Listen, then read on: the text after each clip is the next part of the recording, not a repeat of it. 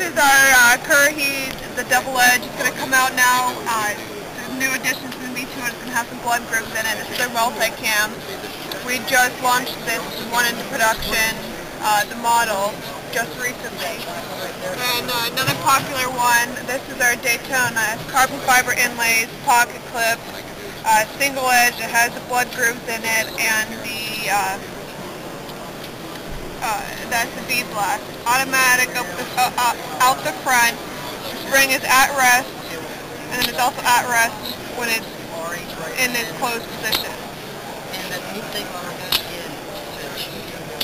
Also, we have our Scarab,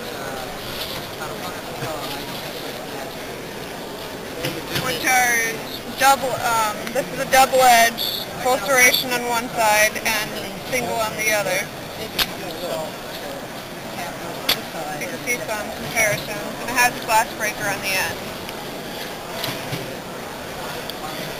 These ones retail 572, 400, and 350.